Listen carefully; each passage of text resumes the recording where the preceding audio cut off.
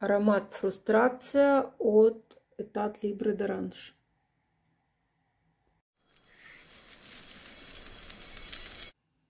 Всем добрый день, я из Украины. Э, снова рада приветствовать вас на своем канале. Э, я на канале всегда показываю подробно, как выглядят оригинальные флаконы с э, люксовой или нишевой парфюмерией, для того, чтобы вы не нарвались на подделку при покупке ароматов с рук, например, или во время обмена. А, также я рассказываю еще немного и о самих ароматах. Если вам эта тема интересна, подписывайтесь на мой канал, обязательно ставьте лайки моему видео или дизлайки и э, присоединяйтесь э, к нашему сообществу. Э, сегодня речь пойдет снова об аромате от парфюмерного дома Элда. Etat Libre d'Orange. Оранжевое свободное государство, маленькая республика подробно о основателе этого дома и вообще о концепции этого дома, об Этьене Сварте рассказывала в предыдущих, предыдущем видео, когда я рассказывала об аромате Experimentum Crucis. А, и поэтому не буду останавливаться, сброшу ссылку в инфобокс, посмотрите ну, детально о, о компании самой рассказ. А сегодня я кратенько расскажу только о самом аромате, э, который э, сегодня у меня в обзоре. Это аромат новинка 2022 года. Э, аромат, который называется фрустрацио. Frustration. Frustration – это разочарование как написано на сайте э, Elda, and frustration is э, what we need, my friend. То есть все, что нам нужно, мой друг, это разочарование. Э, хочу сразу сказать, что название аромата, мне кажется, абсолютно не соответствует тому, что мы найдем внутри этой коробки. Итак, сейчас покажу поближе, как выглядит э, флакон и дальше расскажу об аромате. Аромат Экспериментум Crucis я показывала уже без слюды. Сейчас покажу, как э, выглядит вот прям из бутика э, Элда флакон. Ну, слюда, которую мы сейчас снимаем. Такая же абсолютно коробка, надпись de parfum. Вот это вот медная, э, похожая на чеканку, такая э, наложена типа шильды. Э, надпись фрустрация, что на изображено на коробке вот, вот эта шильда. То есть во всех флаконах, как вы знаете, на всех коробках это трехцветная в цвет французского флага здесь э, этикетка. А здесь вот смотрите, такой красивый орнамент. Это все объемное, ну вот как настоящая чеканка. Э, такой фруктово-цветочный орнамент. Здесь и малина, и листья мансеры, какие-то тропические цветы. А, и вот это наша закладочка в цвете французского флага. Открываем. И внутри такая же красота, как и в аромате Experimentum Crucis, а, только флакон красного стекла. Смотрите, такая же коробка, то есть все абсолютно такое же. А, зеркальное вот это отражение зеркала сзади угловое, для того, чтобы увидеть отражение флакона. Ну, флакон, конечно, красивый. Вообще люблю красивые красные флаконы.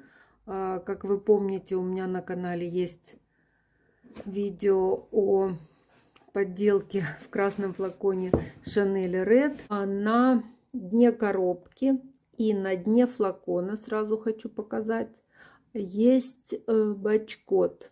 Вот вверху цифры. Это бачкод, который совпадает с цифрами на дне коробки. Такая же наклейка, такая же шильда, как и на коробке, такая же и на флаконе. А, Но ну, смотрите, вот, э, скорее всего, это все-таки, да, что-то, какой-то металл, как будто бы медь или что. Вот у меня даже он немного на сгибе треснут здесь. Но это, я думаю, произошло все во время того, как ну, сворачивали, сгибали по, поперек пополам эту наклейку, эм, потому что она реально выглядит как металлическая. Это прозрачное стекло. Я говорила в прошлый раз, говорила, что это в непрозрачных флаконах. А флаконы ну, довольно прозрачные, неправильно сказала. Красное стекло, очень красивое. Один угол скошенный и выпуклые буквы литые и либре d'orange. Крышка такая же с э, фирменным вот этим оттиском круглым, э, как и на всех флаконах с надписью Тат Либре Доранж Париж. Э, крышка металлическая, тяжелая, золотая и золотой пульверизатор. Посмотрите внутрь. Там едва заметный, очень аккуратный такой переход от пружинки распылителя к трубочке. В принципе, трубочка, я вижу, что заметна. Эта коллекция называется «Экстраординарная». А, очень похоже название э, на экстраординарную коллекцию а, от Ван Клифф, о которой я делала обзоры тоже. Ну и теперь же главное послушать все-таки э, аромат на коже, как он будет раскрываться.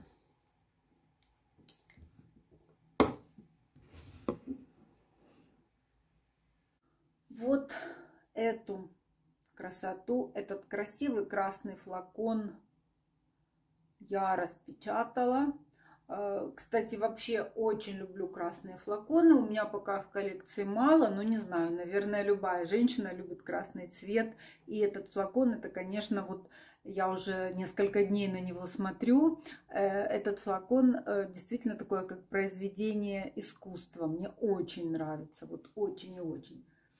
Эм, почему, как мне кажется, э, это название аромата не соответствует эм, тому, что в нем, вот самому содержимому флакона. Ну, что такое фрустрация? Это такое эмоциональное состояние, когда человек переживает, э, когда он не достигает желаемого, когда его желания и надежды получить что-то э, разбиваются, и человек испытывает эм, такое вот очень-очень сильное разочарование, гнев, расстройство его планов, уничтожение его замыслов, и это приводит э, к определенному состоянию, которое в психологии называется фрустрация.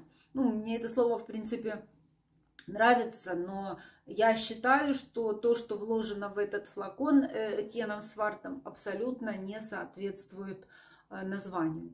Как описывает сам Э, создатель э, парфюмерного дома. Э, в этот аромат он вложил свои детские воспоминания, свое общение с мамой. И вот именно это, его, это ему навеяло, вот эти ноты, которые он вложил в аромат. Тьен де Сварт говорит, что в этом аромате, вот, то, ну, как он его ощущает и как он задумывал его, это стручок ванили, садовая роза, красными лепестками, замешанная на старом роме и э, который с амброй и с бурбонским э, ветивером э, смешан. Честно говоря, я ношу этот аромат, носила его уже несколько дней и ну, абсолютно я не ощущаю вот э, такого, у меня нет отсылок к детству, да, если Тьенсвард э, говорит, что он, э, когда общался с матерью, вот она ему рассказывала что-то о том, э, какие у него могут быть надежды и вообще э, обо всех его таких вот проблемных каких-то моментах, то э, я в этом аромате абсолютно вот не чувствую никакого разочарования, да? у меня фрустрации нет. Э, я его попробовала в начале в магазине, как только он появился, и очень сразу он у меня в виш-листе э, оказался. И вот наконец-то все-таки я не выдержала и приобрела этот аромат. Аромат вкусный, он алкогольный, очень ярко, в нем слышится сразу вот какой-то такой, знаете, э, ореховая настойка, но именно настойка самих орехов. И жареные орешки, жареные кешью с жареным, даже вот не с арахисом. Вначале мне показалось, что это арахис, но потом я поняла, что э, больше какой-то фундук жареный. Знаете, как нутелла, э, смешанная с фундуком. В то же время этот аромат не сладкий, несмотря на то, что в нем есть и карамель, и ваниль, и шоколадность. Но вот э, я не чувствую здесь сахара. Он как бы и гурманикой отдает, да, но в нем абсолютно нет сладости. Мне это очень нравится. Э, аромат жареных орешков, шоколадной пасты, даже чем-то мне напоминает такие детские конфеты грильяж. Я в детстве любила. Это орехи с, э, с карамелью и покрытые шоколадом. Они такие твердые, ты их понемногу откусываешь и рассасываешь во рту. И все это замешано с таким вот густым, чуть-чуть сладковатым ромом. Э, аромат довольно теплый, довольно насыщенный. Однозначно он будет и мужской, и женский. Но вот никакого разочарования, никакой фрустрации. Нету отсыла у меня о том, что, э, как опять же написано на сайте, что э, этот аромат позволяет во взрослом пробуждать внутреннего ребенка, а в ребенке внутреннего взрослого. То есть такая вот трансформация возрастная. Но абсолютно ничего не слышу. Отсылок в детство у меня нет. Эм, он несъедобный, то есть не, не такой вот, вы не кухню носите, не печеньки на себе, э, теплый, э, ну чуть-чуть вот именно амбровость чувствуется, древесность совсем легкая, но в принципе этот аромат очень интересен, он э, хорошо э, чувствуется, хорошо раскрывается на теплой мужской коже. У меня кожа холодная, но тоже я хорошо его ощущаю. И вот этот вот аромат орехов, он э, в течение дня трансформируется, но все равно вы слышите такую ореховость.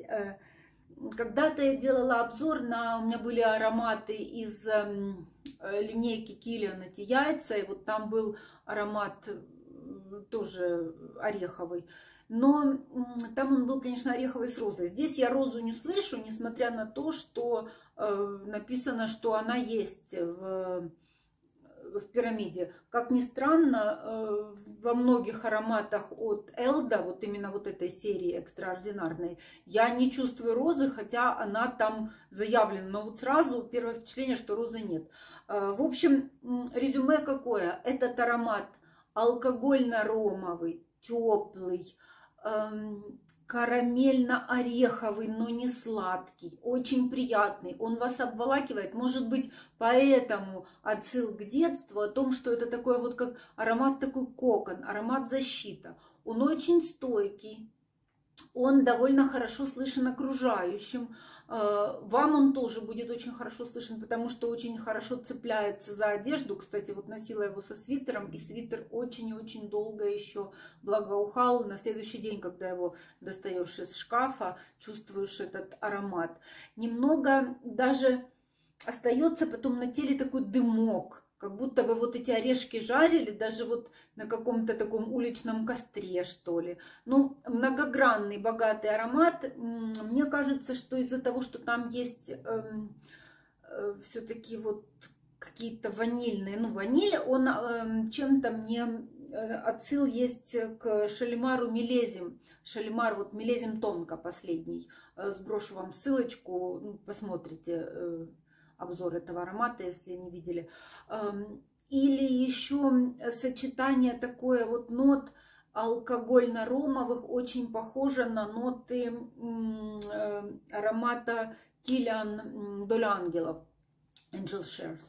Э, то есть аромат очень, я считаю, приятный. Он будет не навязчивый из-за того, что в нем вот есть как бы алкогольность, но она не спиртовая. То есть вы спирта вообще не слышите.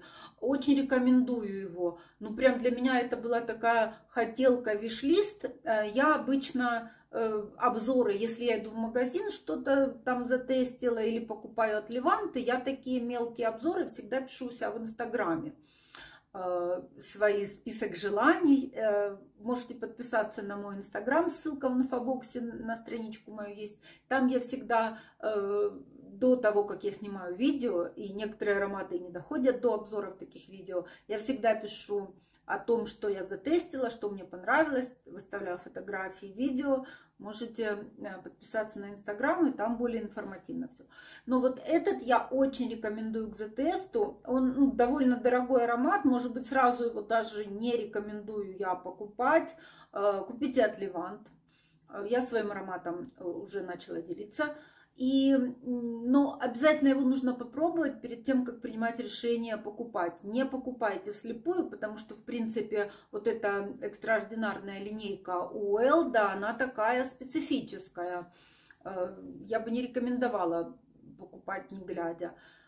И э, попробуйте и на женской э, коже, и на мужской. Э, написано на сайте, что этот аромат унисекс. Я бы его даже рекомендовала и мужчинам, вот прям как мужской аромат. Э, я считаю, что это будет один из ароматов, которым будем пользоваться мы вдвоем с мужем.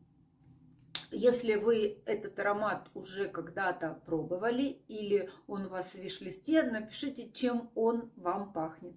Ну вот такой вот у меня обзор. Спасибо за внимание. До новых встреч!